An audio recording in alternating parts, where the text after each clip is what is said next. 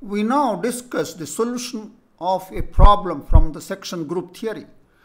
This problem is based on the properties of subgroups of groups.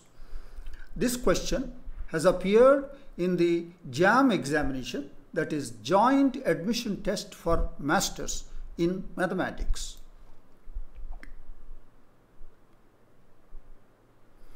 The given question is let G be a group of order 2022, let H and K be subgroups of order 337 and 674 respectively.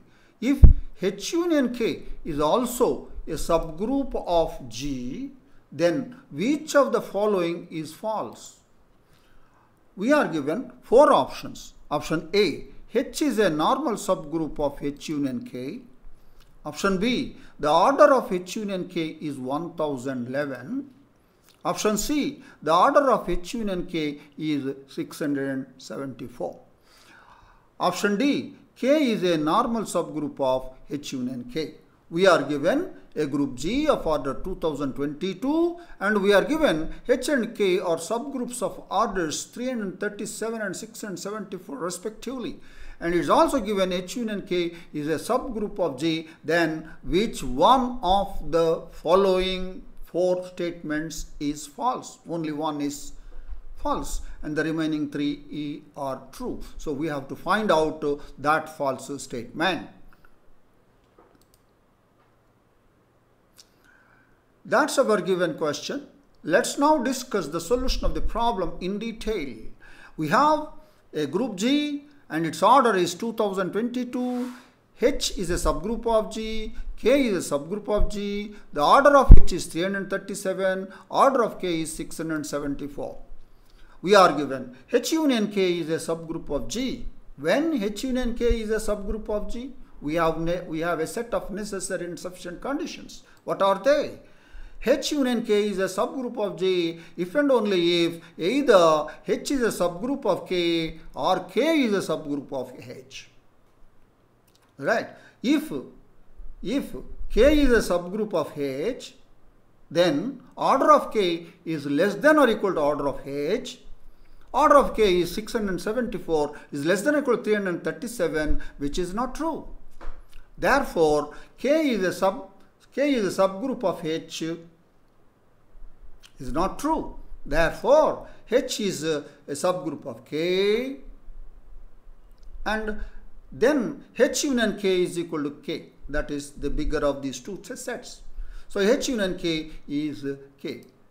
So this will imply order of H union K is equal to order of K order of k is equal to 674 thus the order of the subgroup H union k is 674 let's look at our options. Our option C says the order of H union k is 674 thus the option C is true. Our option B says the order of H union k is 1011 which is not true. So the option B is false. We continue in the next slide that's what we have done so far. Now, H is a subgroup of H union K, obviously. H is contained, H is a subgroup of K, H union K is K. Therefore, H is a subgroup of H union K. Now, let's ask what is the index of H in H union K? The index of H union H union K is equal to order of H union K by order of H. That's the formula. And and uh, this is true because they are finite finite uh, subgroups and it is a, G is a finite group. Therefore uh, uh it is 674 by 337 that is equal to 2 the, the index is 2 let's recall this result. Let H be a subgroup of a group G. And if the index of H in G is 2 then H is normal in G. So using this H is a normal subgroup of H union K that's our option A. H is a normal subgroup of H union K. So thus the option A is true. What is left is option D. Now let us see. K is a normal subgroup of H union K. It is true. Why? Because what is H union K? H union K is K. That is K is a normal subgroup of K. Correct? Every group is every every every subgroup every, every subgroup of the given group is normal if it is equal. So that is uh, H union K is equal to K. K is a normal subgroup of H union K. That is K is normal subgroup of K. It is true because every group is a normal subgroup of itself. So K is a normal subgroup of itself. Itself means K. K is equal to H union K. Therefore, K is a normal subgroup of H union K. Because every group is a normal subgroup itself. Therefore, K is a normal subgroup of K, which is true. That is option D.